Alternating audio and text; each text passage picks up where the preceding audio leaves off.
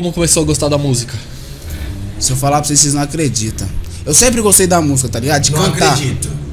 Sempre gostei da música de cantar. Só que aí teve, eu virei dançarino. cantar? De cantar, eu queria cantar. Eu era menor, ficar cantando. Não sei o que, pá, não sei o que.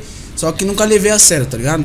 Aí tava assim na rua, assim, pá, com os parceiros. Aí tem um moleque da quebrada lá que ele é MC, tá ligado?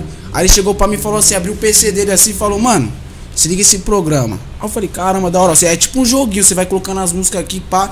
E eu falei, mano, brisei. Eu falei, mano, vou baixar e vou tentar fazer, né?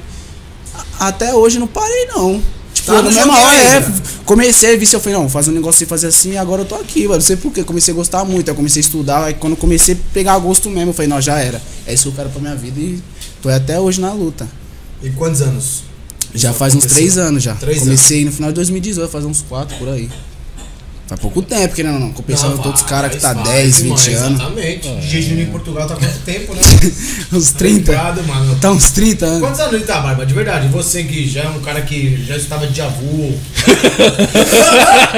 Mas não é verdade?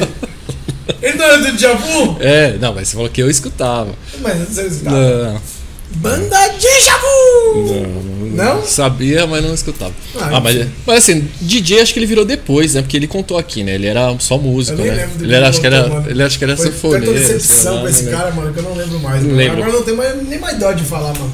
Nós já se falou tanto Já foi. aqui, mano. E quando você decidiu virar MC, ou vai ser, seu sonho era cantar. Só é cantar. Só que eu acho Então- que eu tenho um dom pra isso, Então, né? MC, você queria virar MC, então. Era MC. Primeiro, Tá. primeiro ali, ser MC. Sua família, ela te apoiava? Então, minha, minha mãe, né? Porque meu pai, próprio meu pai tá suave. Pai, vai, vai.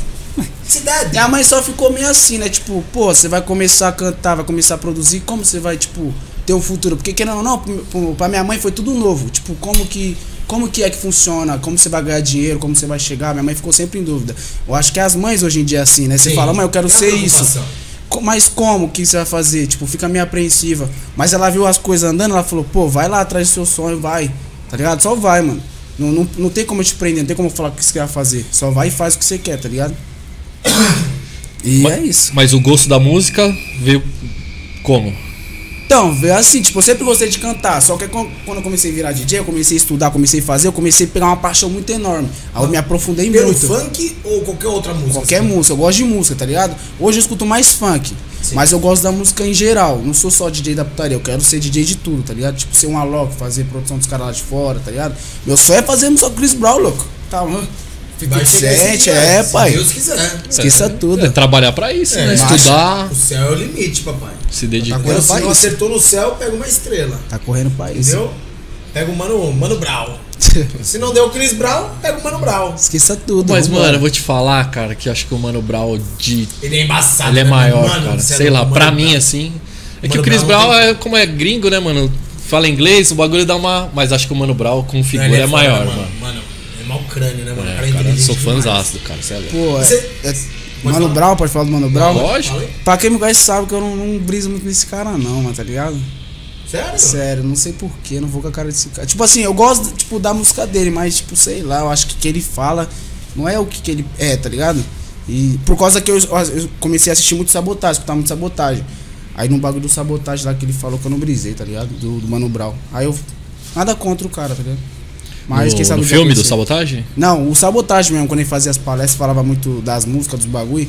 Aí ele passou uma visão lá que eu não, tipo assim, que eu não fiquei, não sou tão fã do cara, eu sou fã do cara. Acompanho os trabalhos dele, só que tipo, não, não sou igual todo mundo fala, nossa, o Mano Brown. Sim, bora." sim. Você curte o som, não curte a pessoa. É, entendeu? Não chega a ser uma inspiração, vai. Hum, não chega a ser uma inspiração minha. Mas é uma opinião minha, tá ligado? Claro, lógico. Já é. É, não é porque todo mundo gosta que você tem que É, gostar, né, mano? Exatamente.